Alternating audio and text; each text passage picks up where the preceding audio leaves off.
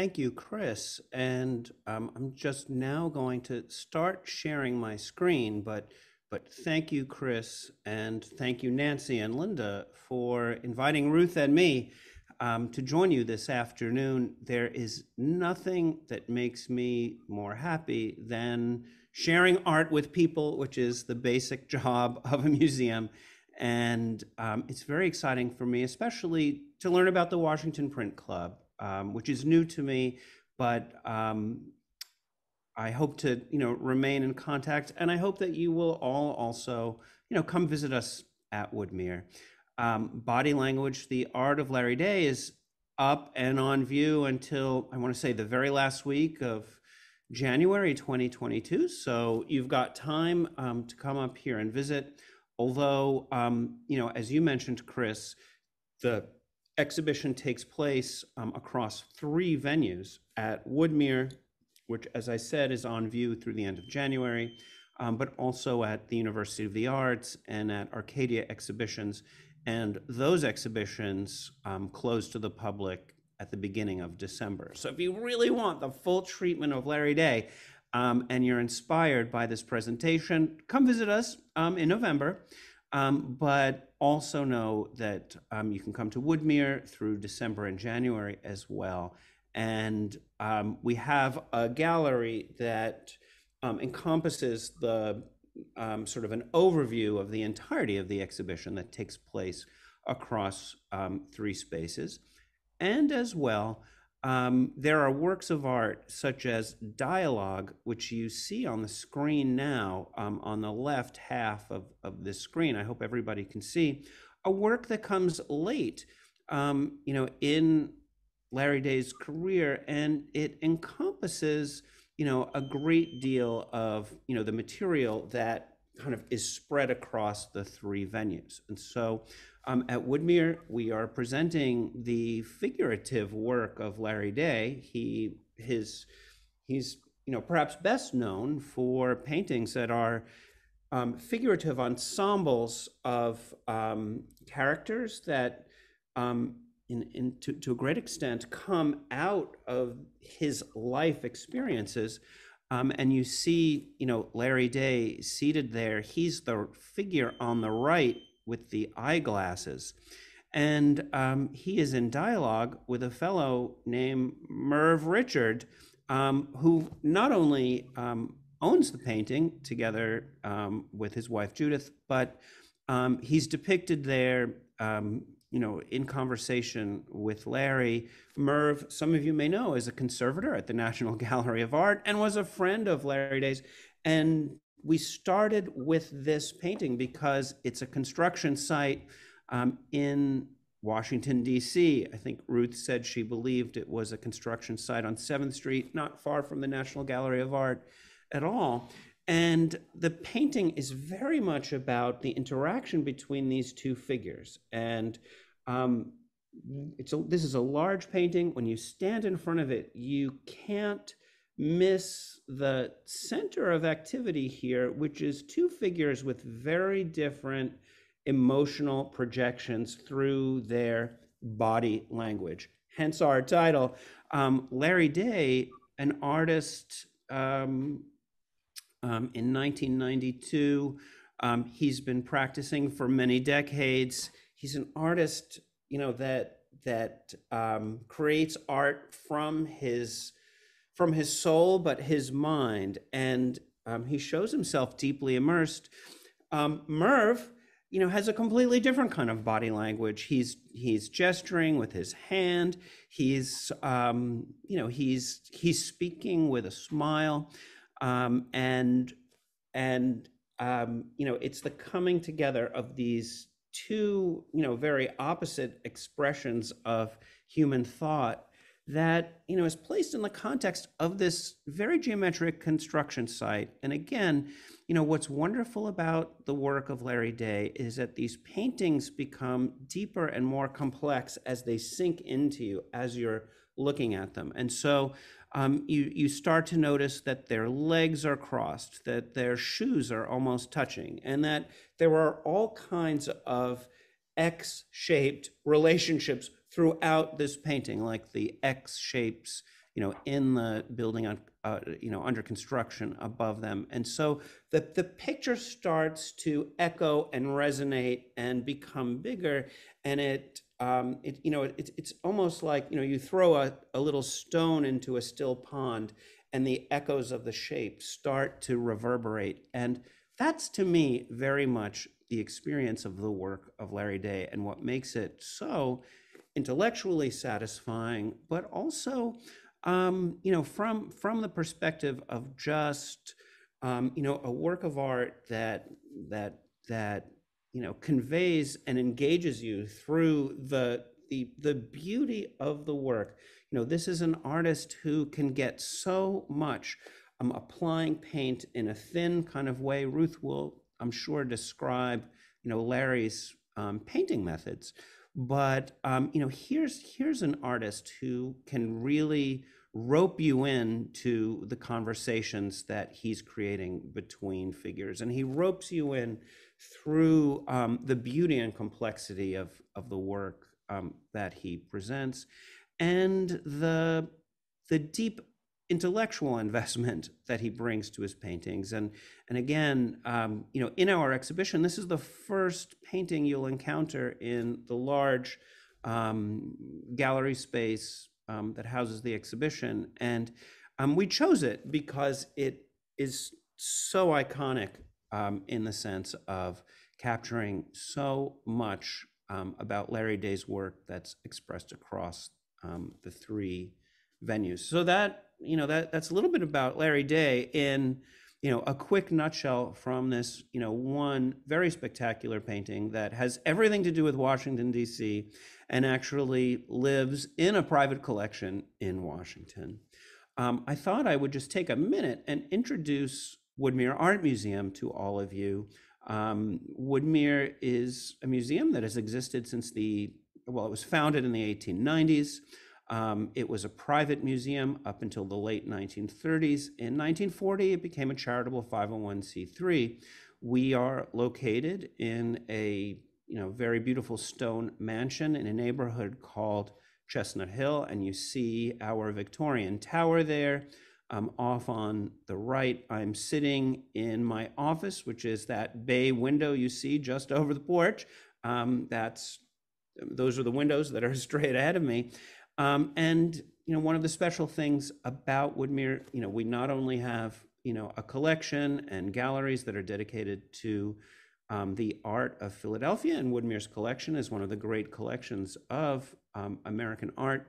Um, for those of you who are deeply immersed in the universe of prints, um, we have a very great print collection with strong representation of you know the great printmakers of Philadelphia artists like Benton Spruance and Robert Riggs, um, but then also on the modernist side, especially Earl Horter, great printmaker, Arthur Carles, Woodmere. I believe Woodmere has the only full collection of all the prints made by Arthur Carles.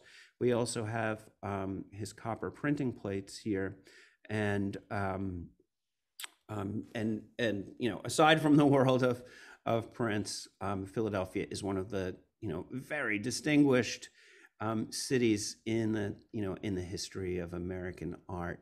Um, we have six green acres where we're about to do a big expansion, and we will have 10 green acres.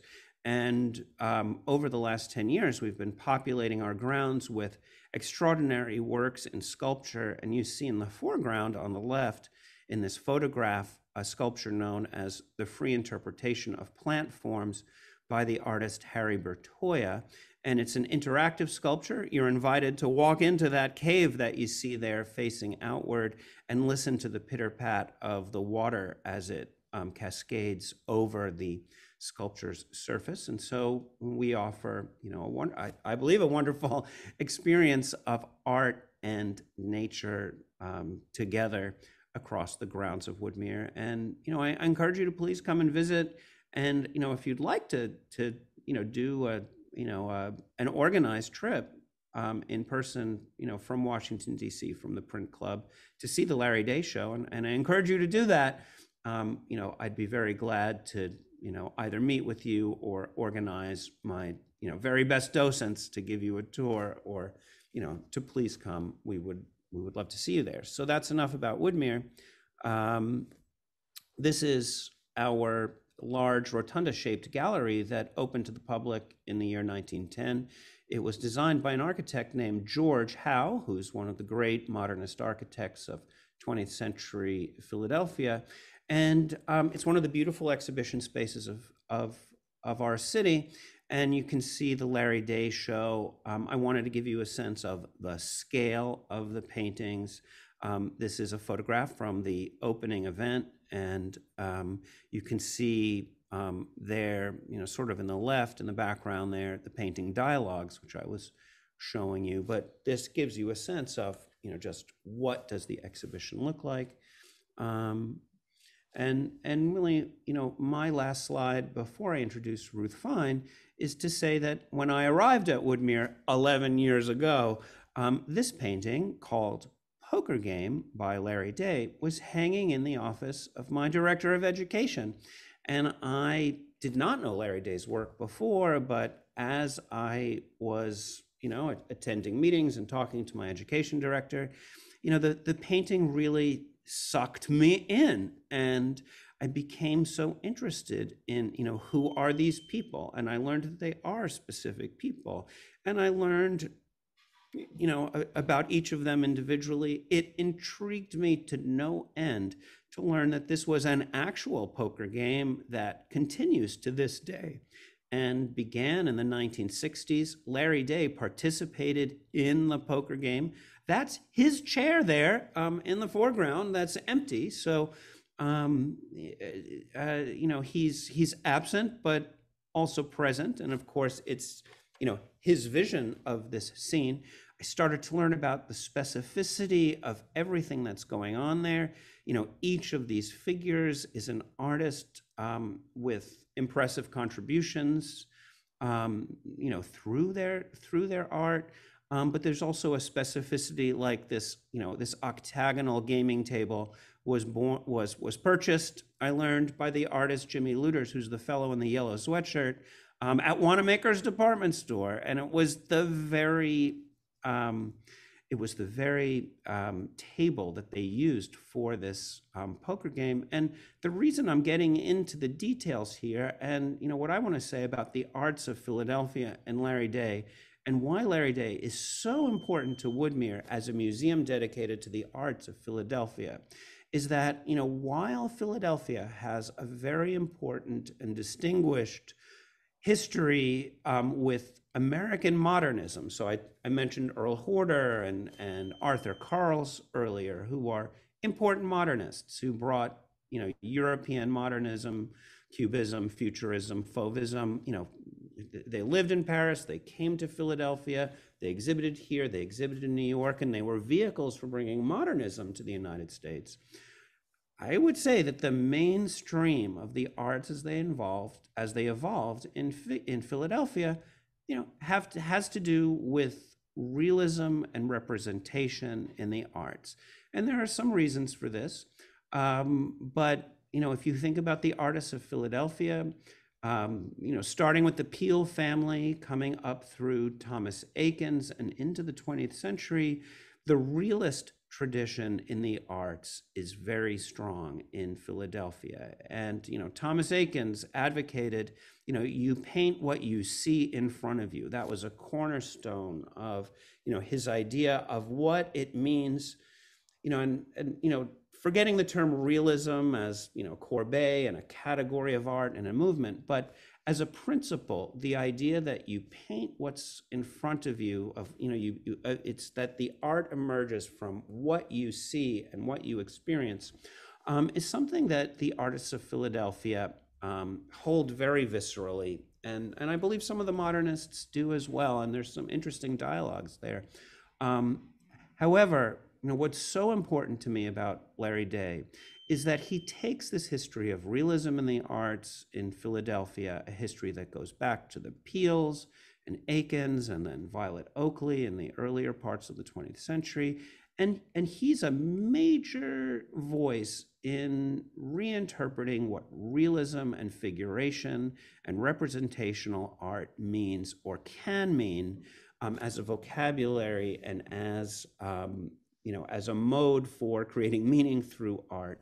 And again, as I'm sure Ruth will um, describe later, um, you know, Larry Day was known as the Dean of Philadelphia Painters. He was an extremely important teacher in the arts. He was just simply gifted in that area. He was a natural born teacher. And so there are generations of, and by this I mean thousands of artists practicing, you know, in America today whose whose um, you know who who take a piece of Larry Day forward um, with them because he had such a profound impact as a teacher and as somebody who made images that just draw people in and have um, you know and, and and that have lasting power. And so an image like you know this poker game um, you know i described larry day earlier in that painting called dialogues as somebody where you know the intellectual dimension of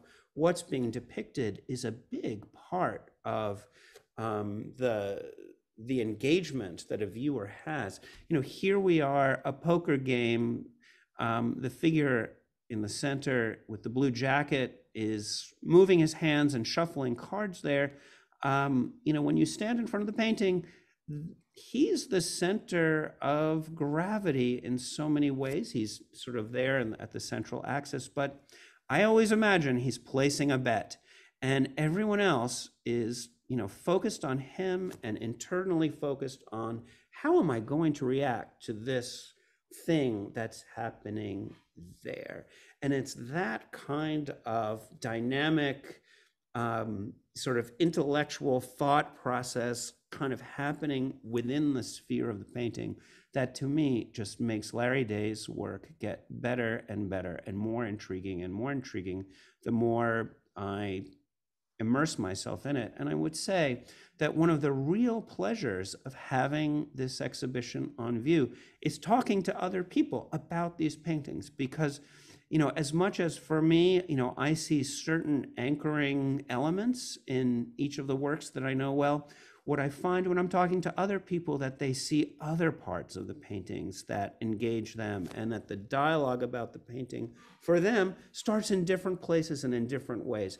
And that's been incredibly exciting, you know, for me to see. But, you know, that's also the nature of art that, you know, different people have different takes and have different emotional experiences and reactions to the art. And part of what makes Larry's work so powerful to me is that it speaks to so many people in so many different ways and is so open to posing the kinds of questions and mystery, the kind of mystery that you get, for example, from you know that that empty chair. I mean, it's a you know it's the sort of folding chair we probably all mm, you know or maybe a lot of us have you know a couple of those folding chairs for emergency purposes in a closet somewhere in our house or in the basement and yet it becomes an object that's so pregnant with meaning because of what it represents as an object. And then, of course, we know, I'm sure that was an actual folding chair that really looked like that. So um, I'm going to stop myself there and say that, you know, another great um, privilege that comes with um, presenting an exhibition of the work of Larry Day is that um, that Larry Day's work has a strong connection, and Larry Day's greatest champion on this planet is my friend Ruth Fine. And, um, you know, Ruth has um, an intimacy with this work that is unparalleled. And it's a real treat and a pleasure for all of us um, to be here today with Ruth. So, with that, Ruth, I'm going to turn to your first slide and your introduction um, to Larry. And I'm going to put myself on mute um, and hand it over to you. Well, thank you, Bill. Thank you, Chris. Thank you, everybody who's here. I see a number of familiar names and faces out there, and I can try and pretend we're really in a real space uh, with each other. Uh, Larry, Larry was born in 1921. He died in 1998. He lived in Washington from 1985 to 1995. And the curator for this exhibition was the British art historian David Bindman, who um, I got to know in the 70s when I was working on Blake and David was working on Blake. And he and Larry became very close friends over the years. So that while I'm speaking, it's really David's show. And COVID kept him from coming to this country as much as he might have from London. But we were sending images back and forth, and that's how the show actually happened. It's amazing that it was able to happen at this particular time. Both Chris and Bill mentioned that it's a three-part exhibition, and the three parts are called uh, Nature Abstracted, and this would be a sense of nature abstracted, Silent Conversations, which is what the Merv Larry images, and Absent Presence, which is what a group of um, um, architectural or landscape images are about. So they're the three segments of the show, and it, it, it, has worked out very well to have the three segments. It's great to see them up all at once. And, you know, this seems like the perfect painting for the macho abstract expressionist uh, period of the 60s, 50s. Larry was anything but macho, but he was clearly uh, proud of being in his studio surrounded by this work. Um, and most of the abstractions he did are one way or another rooted in either figurative compositions or nature. His primary uh, influences, I would say early on were de Kooning, later on Guston, or I don't know if influences or correspondences his best friend among this group was um, Franz Kline, who taught at the at PCA, Philadelphia College of Art, now the University of the Arts, where these paintings are hung uh, in the early 50s. And Larry and he remained in touch with each other until the end of his life. Uh, let's do the next slide. I'm going to have to move fairly quickly through this. Uh, Larry was born in Philadelphia much of his work is connected to issues of self-portraiture, and that will become obvious as we go along. But I thought it would be a treat to see a painting of him as a child and a painting of him, I mean, a photograph of him as a child and a painting of him based on that photograph. And you can see all kinds of changes, the scale of the head, uh, the nature of the light. Uh, people have talked about Larry's um, technique whether he was working in watercolor or oils, he tended to paint thinly. Even a painting like the abstraction you saw previously is also thinly painted. I think of him as being the artist um, who did more with less material than any other artist I can think of. He, he never was a thick artist painter. And I guess I should say, I met him when I was a sophomore in art school in around 1959, 60, and was told by the my sculpture teacher, you're never going to be a sculptor, but I think you'll be a painter, and I'd like you to meet the best painter in the school and march me up to meet Larry Day. So that's when I met him. We didn't get married until I was in my 40s and he was in his 60s. So my admiration for the work took place long before um, my connection with the man. Uh, let's go to the next slide. Uh, he, he, his was a working class family. He had to take the commercial course in uh, high school. There was no way he was going to be able to go to college except for the GI Bill. And he was in the Pacific Campaign. He was in an Army battalion that um, led the Marines onto Iwo Jima. He was there when the flag was raised. He was the librarian at Iwo Jima. Uh, and even as a child or as a young man, he was an intellect, despite the fact that I never had the sense there were very many books in his home. He often talked about he was, how he was the first person to read the second volume of the biography of Keats. He was the only one who had taken it out of the library. And he wrote throughout his life. When he got out of the army, he really wasn't sure what to do. And I think his first thought was to be a, um, a writer. And he had been accepted at Kenyon College to study with John Crowe Ransom. I have a book of poems he wrote during the war, and he also wrote a novel that he uh, destroyed. I never saw it. Uh, but starting when he was in art school, he um, started publishing. And in this issue of the Temple Owl, he ended up going to Tyler School of Art because his um, connection to Kenyon wasn't to start until the fall. And so some friends of him said, well, you know, don't waste your time just hanging out, start at Tyler. And he loved being at Tyler, which was the art school of Temple University. And um, often said how that was the first time he really felt at home in his life surrounded by people who were artists and writers. But he also studied the um, education courses as well. And, and he was a devoted teacher as well as a devoted writer and a devoted painter. And during, let's do the next slide, Bill, please. During the course of my working on the show, I, I really came to realize that um, I think writing was as important to him as painting. Um, he also was very involved with acting, and that's him on the left. Uh, he was an, an actor at Tyler and an actor at the Cheltenham Art Center, which was an important um, art venue in suburban Philadelphia, which was where he lived for most of his life.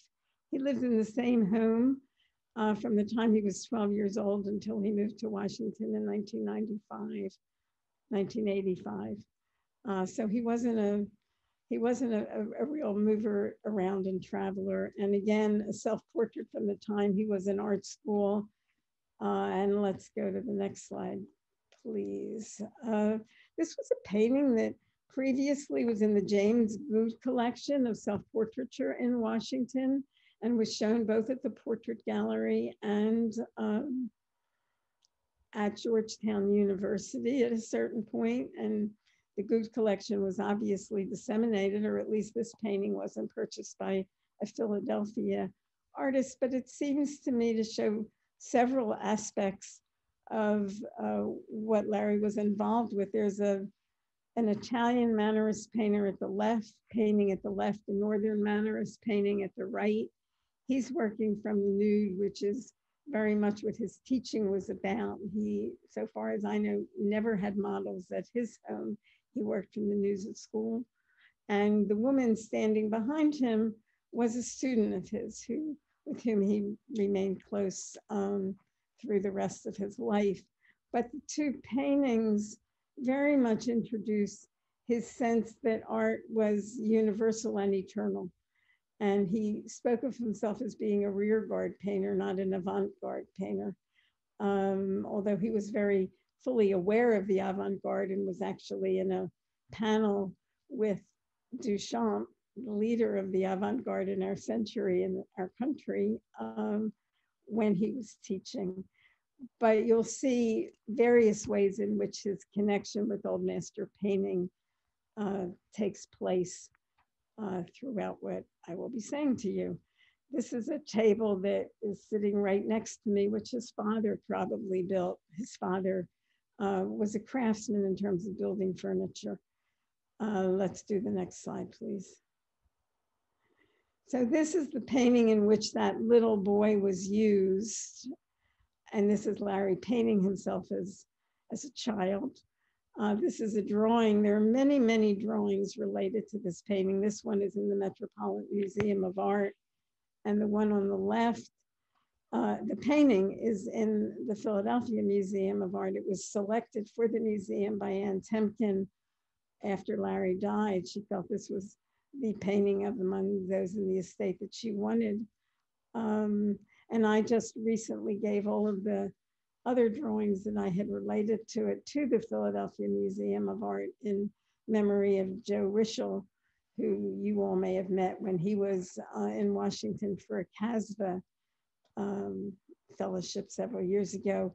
One of the interesting things here is the question of whether this is a painting or a view out a window. And uh, Bill talked earlier about how everyone brings a different reading to the work. And, and that's true. But also, Larry very much believed that the work was completed by the viewer, and that until the viewer was viewing and responding, that uh, the work really didn't um, have its culmination. And so that's not only, it's not only the, that it happens, it's that he intended for it to happen, that everything had the potential of multiple readings. Next slide, please, Bill. He did do figurative work before he did abstract work, and I think this is the actual only print I'll be showing you. The um, installation at Arcadia has a, a gallery of prints, some of them related to paintings, some of them related to drawings. And the reason for that at Arcadia is that just as Larry was called the Dean of Philadelphia Painters, Benton Spruance was called the Dean of Philadelphia Printmakers. And Benton Spruance was an early director, if not the founder, of the um, Beaver College, which is now Arcadia, uh, art department. And um, lithography was the only printmaking process they taught there. And I was amazed to learn this week that now they don't teach lithography at all. They only teach etching and screen printing, which they didn't do until I taught there in the late 60s after Ben died. But you can see that the print is in reverse of the um, painting and Woodmere will eventually have a complete set of Larry Day prints. Most of them took place in the 50s, a few in the 40s when he was a student, and very few later on. There are some woodcuts. Larry dated almost nothing and titled almost nothing unless it was exhibited. So there are a lot of circas um, throughout the exhibition and throughout the catalog. And by the way, there is a beautiful catalog published by University of uh, Pennsylvania Press, which I hope Bill will have Andy and be able to show you. Um, and it's distributed by the University of Pennsylvania Press, and it has several prints um, included in it. So Bill, let's move on. I'm gonna have to move quickly because we need, oh, all right, this is also another, I've forgotten this was here. This is another uh, two prints related to a drawing. And what I find particularly important about these two prints is that the bottom one, the lighter one is state two, the upper one is state one. And so in order to complete his image, and again, they're in reverse of the drawing, in order to complete his image, he removes material. And this was so much how he painted. He would lay paint in and remove paint. He was very interested in the surfaces of frescoes and interested in the surfaces of tapestries. And both of those influence the kind of surfaces that uh, we see in his paintings. But the idea of the importance of removing the lithographic material um, was, was critical. So far as I know, he printed all of his prints himself. He was not a great printer, but he was not a terrible printer either. Um, let's go to the next one, please. Uh, to Pergamum was perhaps his first attempt at um, returning to figuration once he moved into abstraction. And of course, its title is related to the Pergamum altarpiece. And so a figurative source of abstraction and journey on the right, um, and a, a, landscape source of abstraction. And so it's, it's fascinating to see these two, two roots of abstraction as you move through the work. Next, Bill, please. The Pergamum painting was the subject of a book article he wrote in 1958 for, 19, for an art education grouping. So, so starting in 48, he was writing as a student. Starting in 58, he was writing as a professional. He wrote many articles about um, about specific paintings, um, which uh, many of them were published. Uh, here are two examples of his work after Old Master paintings, one after Veronese, which I do believe is dated around the 60s based on other stylistic matters and much later after Poussin. I would say Poussin was one of the critical people um, to him in um, working from the old masters. Next bill, please. Um, but staying, this painting was the one that shifted him into representational painting. While the Pergamon was 1958, this is 1962.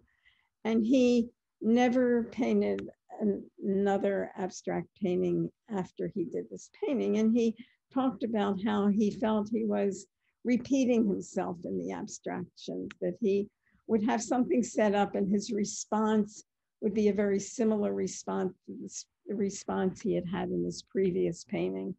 But when he did after stain, and aside from the Pergamon, it's the only painting I know of that's a painting after an old master painting. Generally, his drawings are after old masters, and stain was very, very important to him.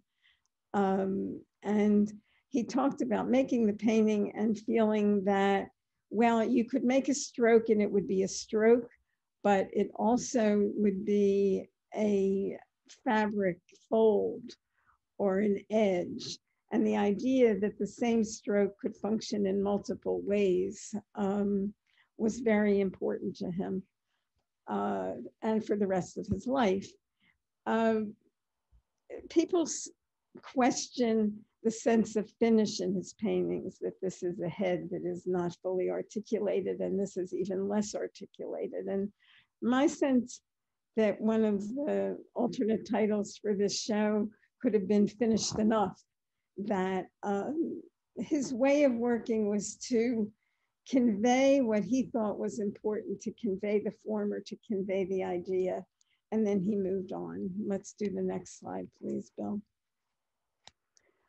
Um, these are two drawings that very closely followed um, the after stain painting. And I don't have a painting related to these, but several drawings related to um, the bridge game. And this brings up Duchamp in here and has very specific conceptual ideas.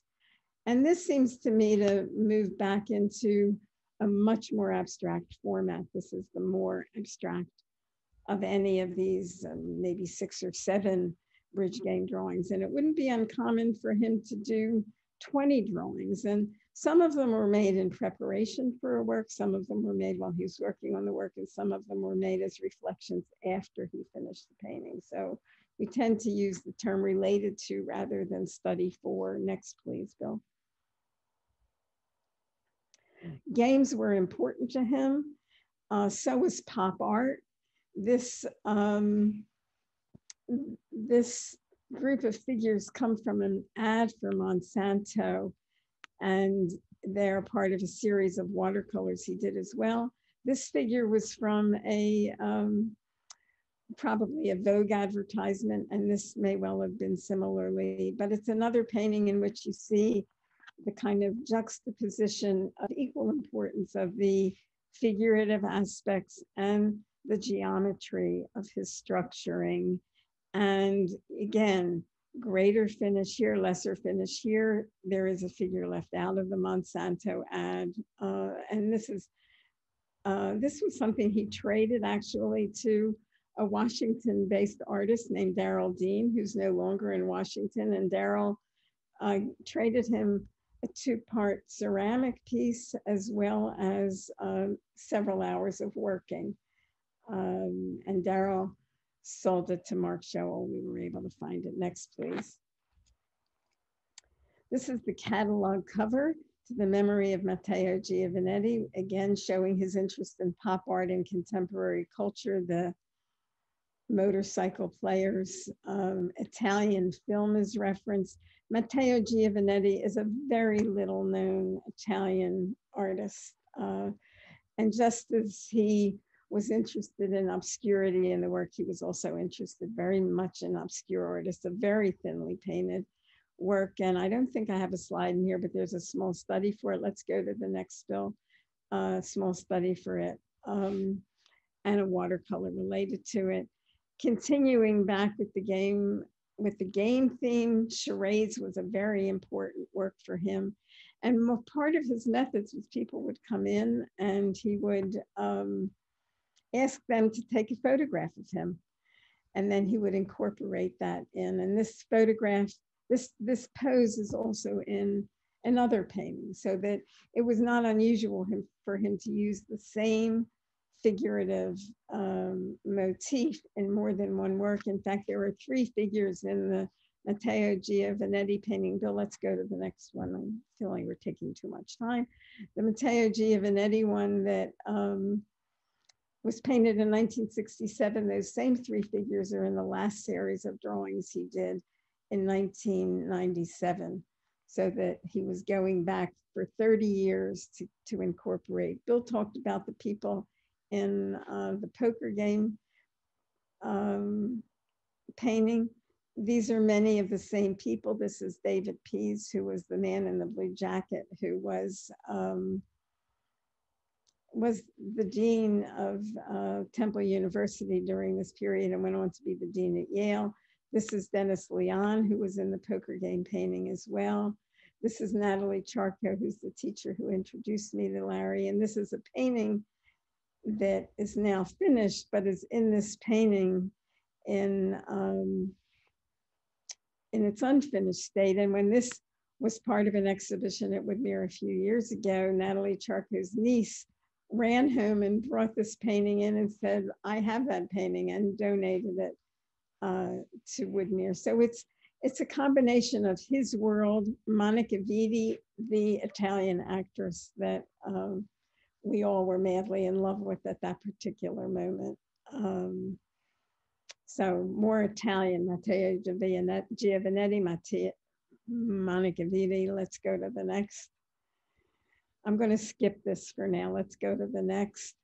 This is a painting, Heidelberg Park, that's um, one of my favorite paintings in, in and, and such a, a strange combination again of uh, place, Heidelberg Park, and figures this wonderful dog looking over to the left, this wonderful figure looking over to the right, uh, very thinly painted. Um, what is going on? It's a tourist painting. And he did a tourist painting in the early 60s as well. So it was a theme that was important to him. The image of this tree is the kind of tree that Larry painted all the time. He spoke of himself and said, he said, I'm not a colorist, but the truth of the matter is when you see this installation at Woodmere, uh, he was an extraordinary colorist. Next, please. Um, but his own focus was on drawing in many respects. Here is Mervyn Larry, again, I won't discuss it, but here is the construction um, painting done a little bit earlier, uh, but possibly closer again. The circa is a guess on my part of Washington construction site as it was taking place. Next, please. And then the three worlds. This is right around the corner from the National Gallery on, I think it's Indiana Avenue. Um, but the reference here, of course, is to Dante's three worlds, the underground world, the level world, and presumably the sky. He was very, very uh, engaged by skyscape, something, again, that I think I learned while looking at the show and seeing how beautifully he attended to skies. Uh, next, Bill. And this is the a painting construction site um, that is in the Pennsylvania Academy of Fine Arts collection. But these are two drawings that I gave them presumably with those titles or they constructed those titles. But clearly when I saw them in the exhibition, they are not drawings for the painting. They are drawings after the painting. He would never do two drawings so alike and stay with that when he did the painting. Uh, it just wouldn't happen that there would be two drawings that much like a painting without any, I mean, this is not in there, but so this idea of when drawings are done and how one titles them um, becomes an issue. Okay, Bill, next please. Um, just to show the range of his drawings and watercolors, this is Arboretum. It's in a Washington Private Collection, Carol Kelly, you all may know her. Uh, this is very near both Arcadia and not that far from Woodmere. This was at the corner of Larry's home so that his home would be about here and he would be looking at that. He used every range of material on paper um, and generally in combination. Next bill, please. And, and this is in here really to bring up his issue as, as a teacher. He would often draw in the class with the students. Um, all, there is a group of about 30 oral histories that were made in relation to this exhibition. And um, what virtually any of them that were made by his students or people who knew them as a young knew him as a young artist say is that Larry taught them to talk, to, to think, sorry, and talk probably also to articulate the ideas that they were thinking. He was not someone who wanted a coterie of followers. He was someone who wanted to develop his own um, rear guard sensibility and wanted them to develop whatever guard sensibility they wanted to develop. Uh, next, Bill. This is his studio, one of his studios where you see reproductions of paintings and books and uh, things that were made by friends. So it was always not only a space to work, although there's a working table, but you can you can see the kinds of things he would be looking at while he was working. Next, please. And these just to reference his writings in the catalog, there is a piece about Poussin and there's a piece about um, Matisse with these reproduced in it. That's the range of uh, what he was interested in writing about. There's a fascinating piece about uh, Rauschenberg uh, in there as well, so that he went back in history and wrote as well about his contemporaries. Next, please. And this is a very late drawing, difficult, I think, to see clearly. I hope you can. Um, the very latest drawings tend to be primarily pen and ink with no drawing, no drawing under underpinning it, uh, no preparatory drawing. And they came together as drawn collages. And just as I mentioned that, I don't know if I did mention that Temple Owl story that was published was about someone being in a hotel room with a lion in the next room. It's a totally surreal story that he wrote in 1948, but that was three years after he got out of the army. And these incredibly surreal drawings that he did at the end of his life, I think take him back to the complexity of the army experience and the chaos of the army experience. Um, because during the last decade of his life, he did go to Army reunions every year. They were very important to him. And so I've known other veterans who came back and World War II became critical to um, them very, very late in life in their 70s and 80s and 60s. And so I think that's part of what this three-headed figure and the factories and the I don't know what that is, but it relates to certain Duchampian things he did earlier. So I think I will stop here. It gives you a very fast overview. Everything that I've shown you is in the exhibition except the construction painting that um, is next to Mervyn Larry in that second time that came on.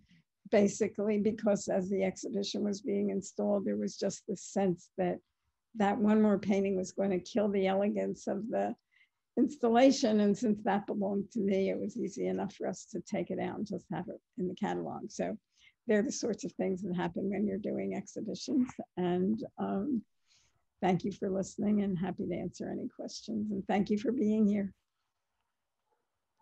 Well, thank you, Ruth and, and Bill. I hope I can call you Bill. Um, it was really fascinating to learn about uh, Larry Day, an artist that I had heard of because I know Ruth as a colleague at the National Gallery. But it's wonderful to really see the range and depth of what he has created. Now, I mean, I know this may not be fair, but because you kept saying that the everybody brings their own interpretation, and Larry liked that. But I keep seeing it well, as Ruth said, sort of surreal, as mysterious, as odd, as strange structures and strange relationships. lighting and scale are all wonderfully off. And I'm just curious as any insights into how he sort of thought that through to create these sort of mysterious images, at least in my mind. I mean, they're just fabulously creative.